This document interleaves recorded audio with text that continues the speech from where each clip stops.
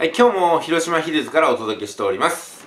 速稼塾の久保です。えー今日は皆さんにお金を稼ぐ方法というか、今やってることで絶対に成功する方法をお伝えします。えー今日も動画をご覧いただきましてありがとうございます。あのすぐにお金を稼ぐ方法を教えてくださいとか、素早く収入を上げる方法はありますかとか、えーゼロで最短で儲ける方法っていうのはないでしょうかとよく聞かれるんですよ。うん。あのーまあ、僕も聞いてた時期あります。あの、実際すぐに簡単にお金を増やす方法ってのはあるんでしょうか？と、えーいうことですけども、あの、まあ、私に聞いてもらってもいいんですけども、あの、インターネットとかでちょっとね、儲かる方法とかで検索してみてください。もう無数に出てきますから。あの、はっきり言ってね、あるんですよ。アフィリエイトですとか、転売せどりですとか、YouTube とか、Facebook、Twitter、Google AdSense とか、株とか FX、もう腐るほど出てきます。あなたはそういう情報を見ずに、まあ、僕に聞いてもらってもいいんですよ。要するに、あなた検索というか、調べるってことができてないんですよ。調べることができてない、自発的に動くことができてない限り、まずこの質問をね、するっていうのはもう非常にあのセンスが悪いっていうか、レベルが低いと言わざるを得ないんですよ。うん、で、まあ確かに皆さんね、あの、あるんですよ。本当にすぐ方、儲かる方法ないんですかって。まあ、ぶっちゃけありますよ。ぶっちゃけあるし、速稼塾っていうのはそういうのを教えてるんですけども、あの、まあ、詳しく知りたい方は、まあ、来てくださいってことなんですが、えっ、と、肝心な話をここからします。すぐお金が儲かる方法はあるんですかという質問に今お答えしましたけども、別の方向からアプローチさせてもらいます。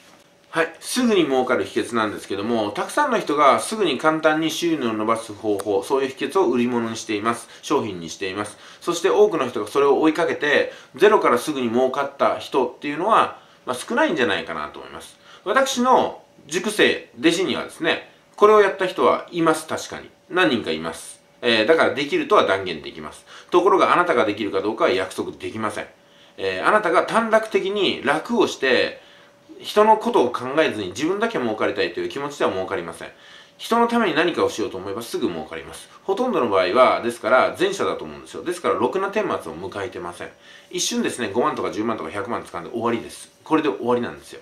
えたくさんの情報に振り回されて、結局は何も結果を出せずに、お金と時間だけを浪費していくんですよ。仕事でも一緒ですよ。どんなことでも一緒です。仕事でも、マインドセットがないんですよ。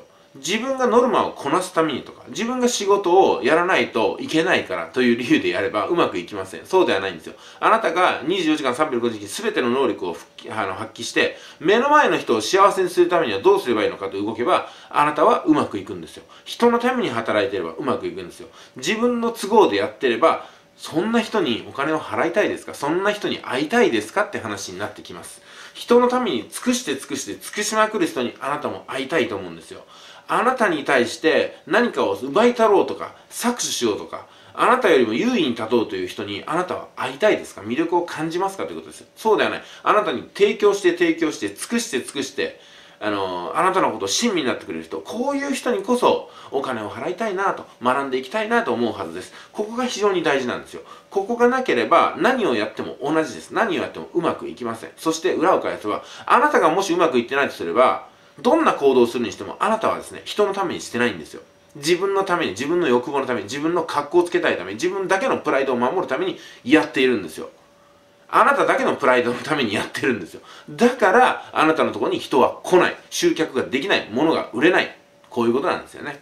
えー、まあえー、いろいろとお話ししましたけどもまだ続きがあります。はっきり言ってすぐに儲かる方法のうちの一つです。えー、それは何かというとあなた自身がレバレッジを持っている場合ですよね。レバレッジのかけられる資産を持っている場合です。十分な軍資金を持っているってことでもいいです。あのすでにですね資産というのは何かと顧客リストがありますかってことですね。これだと稼ぐのは早いです、えーすぐ簡単に収入を伸ばすことができます。あとヘッドラインをちょっと変えるようなねサイトを持っていますかってことです。あなたがサイトを持ってればそこにレバレッジをかけて稼ぐ方法っていうのはいとも簡単に作れていきます。あなたサイト持ってるでしょうか？サイト更新のスキルがあるでしょうか？ということがここに取られています。まずリストですね、えーサイトがありますかってことです。えー、とあと価値のあるスキルを持っていますかと。あなたが持っているスキルっていうのは人がお金を払ってまで学びたいものですかってことになってきます。そしてそういうふうな表現ができますかってことです。あなたが自分でですね得意だと思ってるもの。でもそれでお金がこんあの稼げない人が来ないとすればあなたはですね自分が評価してるほど大したことないんですよ。そこに気づいてくださいね。えーまあ、あと、すでにね、潤沢な資金がある場合は、FX とか株とかで、あの、ポンポンと一瞬で儲かる場合もあります。で、レバレッジが効かない状態っていうのは、何も持ってないことなんですよ。あなたが何も持っていなければ、楽して一瞬で稼ぐことはできません。ゼロにいくら掛け算してもゼロですからね。まずあなたはちっちゃい位置を自分の中に持っていってください。あの、ちっちゃい位置でいいんですよ。ちっちゃい位置を日々足していくことでレバレッジ掛け算がここまで来るとですね最初の質問。じゃあすぐにもう簡単に儲ける方はないんですか？にあのちょっとですね考え方変わると思うんですよ。あの質問を変えていただきたいと思います。よく言うマインドセットができてないってことなんですよ。こんなあの質問をするってことは。例えばですねダイエットの方法を知っている人っていうのはたくさんいるんですよ。ダイエットなんですね。痩せる方法っていうのはあなたも一回は検索したことがあると思うんですけども痩せる方法っていうのは世の中山ほどあるわけですよ。そして全てが正解です。もうぶっちゃけですねあのあんまり食べずに運動すれば それ痩せるんですよ。それだけでいいんですよ。なのにこんにゃくダイエットとかキャベツダイエットとかなんとかダイエットサプリメントいろんなことやるっていうのは結局ですね、なんで痩せれないかっていうと、ほとんどの人がマインドセットができてないんですよ。何のために痩せるのかっていうところができてないんですよ。誰を幸せにするために痩せるのかっていうところができてないんですよ。誰のためにそれをするのかっていうところですよね。そして自分のためにやろうと思うと必ず自分の勝手な理由でそれをやめるんですよ。これが仕事によく起きてきます。ですから人に仕えてる仕事じゃないんですよ。やらされてることなんですよ。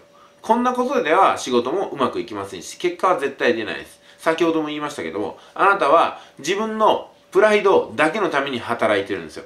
自分のプライドだけのために働いてるんで、だから人が寄ってこないんですよ。人が寄ってきても数が少なくって、損益分岐点を割るんですね。あなたは本当に人のために尽くしていますかと。あなたは、あなたの周りに呼びたい人の、あの、何がその人に必要かちゃんと捉えていますかってことですよね。マインドセットですよ、これ全て。もうですね、もう会社とかにいたら、上司に教わったことを100%やり続ければ、絶対に結果が出ます。絶対に結果が出ます。1日2日でなくても、1年もやれば、絶対に結果が出ます。3年やって結果が出ないってことはありません。なぜなら、あなたにその方法を教えてくれている人ってのは、それでずっと生き残って、ずっと黒字を出して、ずっと信頼を集めてるからなんですよ。それを丸ごとコピーすれば、愚直に愚直にやればですね、同じ結果が出るに決まってるんですよ。ということは、やっぱり、結果が出てないということは、あなたは教わった通りにやっていない。見ている通りにやってない。学んでる通りに出会っていないということなんですよ。ここをスタートラインにしてください。マインドセットです。えー、仕入れてきたノウハウを一生懸命にやれば絶対に結果が出ます。集客が起きて、えー、利益が出ます。これをやらないんですよ。あのー、人間ってのはね、愚かなんですよ。とっても愚かです。稼げなかった。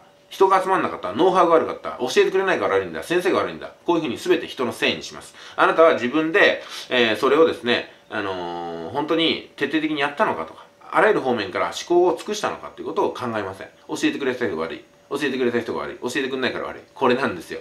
えー、雨が降ったから悪いとか、来ないからしょうがない。これなんですよ。こんなことでは絶対うまくいきませんよ。えー、心理学的に言うとですね、この働きっていうのはセルフハンディキャッピングっていうんですよ。セルフハンディキャッピングというのは、なんか能力、能力が問われる試験とか試合の前にですね、もうあんまり勉強してないやとかね、最近調子が悪いんだよなとか、やる前に言うことで、その自分のハンディをね、宣言することによって、その結果が現れた時に、自分を有利に持っていこうとする行為のことです。あの結構多くの方がやってますね。えーと、答えを明確に出せない出せないような質問をされた時にですね、まあ私は完璧な人間じゃないんでとか、私はまだ人間できてないんでとか、あのね、その専門家じゃないんだよね、経験ないんだよねとか言ってね、あの、こういうやつなんですよ。これ、とってもずるい答えなんですよ。これをやるとうまくいきません。自分のプライドを守るために動いてることになります。もうそれ、あらかじめ言い訳を用意しちゃうんですよね。あらかじめ言い訳を用意するとか、目標設定を曖昧にするとか、そのための行為項目は全然具体化しないで。これ失敗しても成功してもですね、自分にとってお得な状況を作ってるわけなんですよ。これせこいですよね。これ自分のためにこういうプライドのためにやるのは。えっ、ー、と、予算に対してですね、具体的な方策を持たない人とかは、あなたの会社の周りにもいるんじゃないでしょうか。これをよく使ってきます、そういう人は。またね、あの、なんかこう、質問されたらね、怒り出したりとか、ふてくされたりとかして、質問が自分に向かないようにする方法もあるんですよ。これをやってる人いませんか？と。どんなに難しい問題でも任しとけの一言でいいわけですよ。そしてその人はちゃんとあなたのために自分の身を挺してですねあらゆる困難からあなたとかあなたの部下を守ってくれてるでしょうかってことになってきますあなたはそういう人についていくべきですしそういう人になっていかなくてはなりませんよく後継者の話をしますけどもこう考えてください今のあなたに対して誰かがあなたみたいになりたいとあなたみたいな仕事がしたい。あなたと一緒に仕事したいと思ってくれてますかってことです。そしてあなたの上司を見てください。あなたの上司に対してあなたはあんな人になりたいなって思いますか？それともあんな人になりたいとやっぱり憧れて追いかけていますかってことなんですよ。さあここしっかり見てくださいね。あなたの上司たる人はあなたの求める先生というのはあなたがなりたい人に近いでしょうか？それとも立場上そうなったらたまたまそうなっただけで大してそう思わないような人があなたの師匠であり上司や先輩にこれは相当不幸ですよ。こうならないようにしてくださいね。そしてあなたがそう思われないようにしてください。その方法はまた他でお話しします。えーと、実際に失敗した時に自分の能力の問題ではなくて外的とか環境的な問題があったからうまくいかないと結論付けることで自己疑問というですね根本的な問題と向かわずに済むからこういうセルフハンディキャッピングっていうねずるい方法をほとんどの人は使ってきます。ですからほとんどの人はうまくいきません人間ねこれが発生するとねうまくいかないんですよ。自分の責任にしないことで自分を助けるわけなんですよ。問題点に同時に気づかなくなってきます。自分のせい自分のせいと思ってたらじゃあどうしようかなっていうふうに思考が働いていくんですけどもあなたは自分のせいにせずに環境のせい周りのせいあの人が悪いこの人が悪いお客さんが悪いとしまいには言い出すんですよ。社会が悪いとかね。はてあなたは一体何かのせいにしてますよね。何かの問題が起きた時にああ自分のせいだったなと思えてないんですよ。自分のプライドのせいで。セルフハンディキャッピングから逃れないといけないです。そう何が起きても雨が降っても俺のせいっていうふうに思えてますかってことです。ましてやあなたが所属している会社の業績が悪かったらあなたのせいなんですよ。あなた一人のせいです。ですからあなたはいただいた給料を受け取らずに会社に返すか、もしくはですね、そのお金をもらった日にどっかに寄付してください。ドブに捨ててもいいです。通りすがりの人に全額あげてください。なぜなら、あなたは会の業会社の業績を落としているなら、その資格がないんですよ。だって考えてみてくださいよ。赤字を出している人に誰がお金をくれるんですかって話ですよ。なのにあなたももらってませんかと。マインドセットですよ、ここも。受け取れないマインドセット。自分にはその資格がないと。お金をもらってホクホクと目の前の15万20万喜んじゃダメですよ。それを捨てれますかっていうことなんですよ。それを捨てれるマインドセットがあればあなたは必ず成功していきます。はい。今日はですね非常に心をえぐるような話だったんですけども確信はここです。受け取らないという選択をするマインドセット誇り高きマインドセットこれが本当のプライドです。自分の結果によらずもらったものは受け取らない。このマインドセットをよく覚えておいてください。それではまた広島ヒルズでお会いしましょう。